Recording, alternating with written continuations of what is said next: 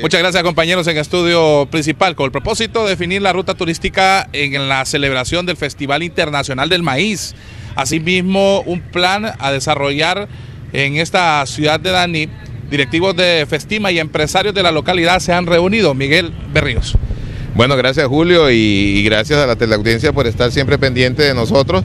Pues sí, queremos informarle que ya nos hemos definido con la parte de seguridad todo lo que va a comprender eh, durante la festividad de, Festima 2016, eh, todo lo que es eh, el, el CONAPREN que se va a estar activando durante estos días y de igual forma los hoteleros, pues ayer tuvimos y hoy seguimos reuniéndonos y capacitándonos en vista de que tenemos que alojar gran cantidad de personas. ¿Cuánto se, estima?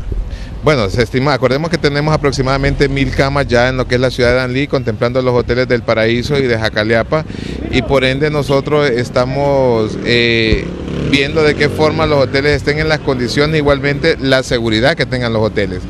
Eh, también estamos con el plan de lanzar el proyecto turístico del casco histórico con Danlí Tour, eh, que está coordinado por el licenciado Roberto Mencías que está trabajando eh, en lo que son los recorridos de lo que es el patrimonio del casco histórico de Danlí. Yo creo que el festival pues tiene algo nuevo que mostrar este año, más que todo lo que es la cultura y el turismo de la zona oriental.